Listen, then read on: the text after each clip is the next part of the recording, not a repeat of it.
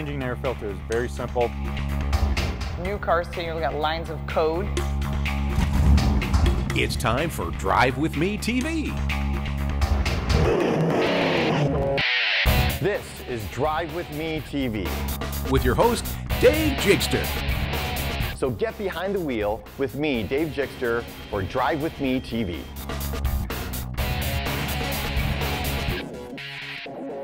Hi, I'm Dave Jickster from 97 Rock. Welcome to Drive With Me TV, Western New York's only automotive television show. On this edition, a top doc takes us for a spin. The car care coach, Lauren Fix, is back with what's trending in automotive. Find out what's under the hood from Pete, the car whisperer. What should you do if you get into a fender bender? And check out some of the hottest wheels that were on display at the Buffalo Auto Show. So let's get rolling with our friend, John Di Sciullo. Take a look at these hot wheels here in Western New York. You know, at Come Drive With Me, we want to feature some of the hottest cars in town. And if you look at this fleet that we've got here right now, you'd think, hmm, is it owned by a race car driver, uh, an auto dealer? Well, no, it's these cars are owned by Dr. Michael Nazareth from Western New York Dermatology. Dr. Michael, thanks for joining us on Drive with Thanks Me. Thanks for having me. You have Pleasure to be quite here. you have quite a fleet here. Let's start with this Porsche.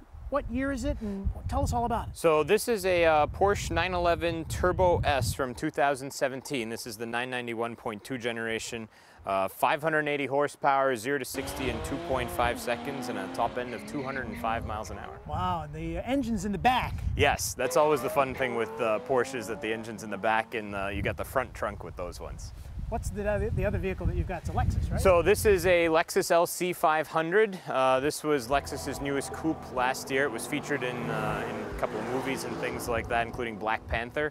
Uh, this car has a really nice high revving, naturally aspirated 5 liter V8 that pumps out 471 horsepower and really sounds marvelous as it screamed out to 7,200 revs. and something very unique about the hood with pyrotechnics that I don't think a lot of our viewers would even realize. Correct. So because Lexus wanted that really low hood design, they still had to meet pedestrian safety standards. There's actually pyrotechnic charges on the front and back hinges to pop the hood up in the event of an accident to make sure that pedestrians are protected and there's enough clearance over the engine block. Who knew? Yeah. And my favorite color is red. The Jeep there is uh, a, Hellcat. Is that That's it? correct. So this is taking, you know, Dodge's famous 707 horsepower Hellcat motor that's been in the Challenger and the Charger for a few years now and stuffing it under the hood of a Grand Cherokee, having all-wheel drive, so great for Western New York, and uh, it'll actually hit 60 in the low three-second range. Well, my favorite color is red, so we're we're gonna pick the Jeep. Let's do it. Let's go.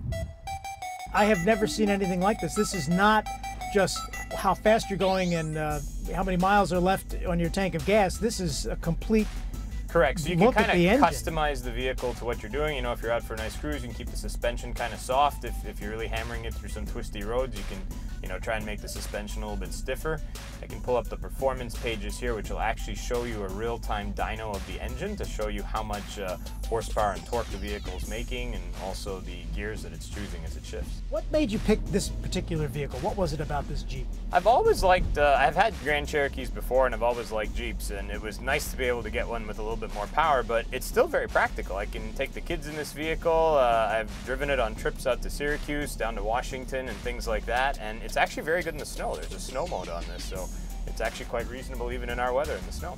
Let's talk a little bit about who you are. Uh, we've heard, you know, heard your spots on the radio, and some people who are watching have probably been treated by you from Western New York Dermatology, and you've been in that practice uh, seven years, I understand. Uh, yeah, five years. We founded the practice about five years ago. Uh, started, you know, with about a staff of 10 people, and now have over 50 on staff. We're adding a Mohs surgeon this summer and building a new, uh, new Mohs surgery center, which will be opening probably uh, the end of August, early September. So.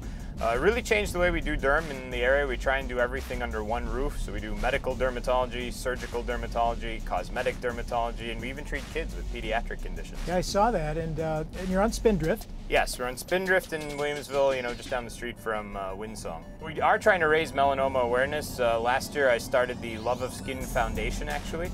Well, that's terrific. What, what is there a website for this, Don? Yeah, it's loveofskinfoundation.org. You can also get to that from our uh, WNY Derm uh, website as well. Uh, so that's been a, a really nice uh, cause for us have seen some definite strides there in trying to raise awareness uh, so that kids are more protected. It's very rewarding for me to practice in the same community that I grew up in. Uh, my wife is local too. She's a pediatric anesthesiologist at children, so the Make a Wish is definitely something near and dear to her heart. Uh, you know, the Festival of Trees and things like that Sure. that also supports children. So we're very fortunate to live in a community that really cares about uh, uh, people in general, and we are the city of good neighbors after all. And I think it's been great to see the response with some of these events that have really helped our community. Oh, big time. What was your first car? My first car, uh, when I turned 16, I had a uh, 1995 Subaru Legacy, uh, which got me through uh, high school and, and the first part of college there. And then I had a Subaru SVX, uh, which was a very cool car because that was Subaru's two-door sports car back in the day with that window within a window. So that was my first kind of high-performance car that I ever owned. Oh, camera dude in the back there, Richie. Oh, here we go. camera dude's thrown into the back seat, but he has a Subaru too. He swears by him. And uh, They're great in bad weather. Uh, my mother still has an Outback, actually. What moved moved you to become a bit of a collector now with, with these high-end vehicles that we just saw? So it started actually with uh, with with the Jeeps and things like that, and I obviously like the high performance motors. Uh, I'd always dreamed of having a, a Porsche 911, so that was the most recent addition to the fleet. Um, never really thought about the, the Lexus LC till I drove one and really loved the sound. Uh, it's not as fast actually as this Jeep, even though it's probably the sportiest looking of my vehicles, but uh, it sounds very good. That car's kind of got a great dual nature. It can cruise effortlessly, just like the luxury you'd expect of a Lexus, and then when you want it to be, it can be quite sporting as well.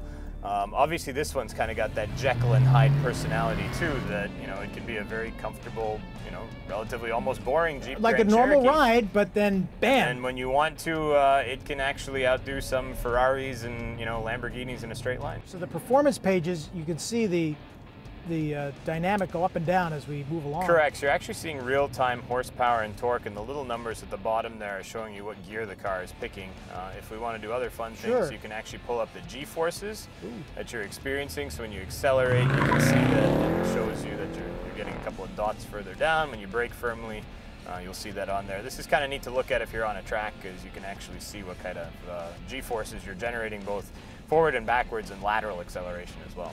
So not only is this a car, it's a giant computer.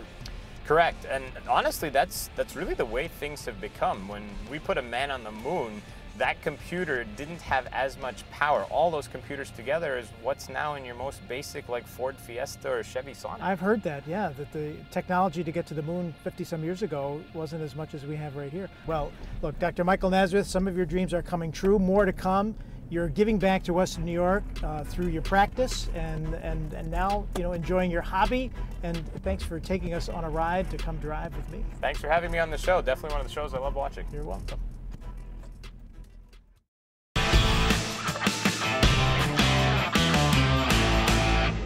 Welcome back to Drive With Me TV, and now it's time to take a look at the dashboard. And today, we start at automotive news all the way over in Japan, where Toyota Motor Corp is gearing up for another run at the U.S. electric vehicle market, possibly starting with a crossover developed jointly with Subaru. These two Japanese car makers said last week they will develop a dedicated EV platform and build a C segment crossover on it that each company will sell separately. The announcement was part of a messaging blitz by Toyota that it intends to amp up EV deployment and even introduce a solid state battery by next summer. The results of a competitive market for electric vehicles could be shocking. Meanwhile, speaking of electric cars, from Car and Driver comes word that the Volkswagen IDR electric vehicle has just lapped a 12.9 mile Nordschleife, better known as Nürburgring, a famous track in Germany, in a time of 6 minutes and 5 seconds, the second fastest ever recorded, and a clear 40 seconds inside the previous fastest electric race vehicle there. The record run was accomplished with an average speed of 128.6 miles per hour, according to Volkswagen. Now that is electrifying. From Carbuzz comes word that Volkswagen will begin installing charging stations nationwide for electric vehicles. Electrify America has partnered with Walmart to install more than 120 ultra-fast electric vehicle chargers as part of the company's $2 billion investment to build fast chargers across America. The partnership with Walmart will make the retailer one of the largest charging hosts in the country. Imagine a trip to Walmart where you use your charge card to charge your car. By the way, if you're curious about some of the costs of the top selling electric cars, take a look at some info from EnergySage. Nissan Leaf, 22,490 bucks. Chevrolet Bolt, $29,995. Tesla Model S, 67,000 bucks flat, and Tesla Model X, 72,000 bucks. These prices are after the $7,500 tax credit for purchase of an electric vehicle. And finally, in our dashboard trivia, can you tell us how much the first electric vehicle cost? We'll have the answer when we return.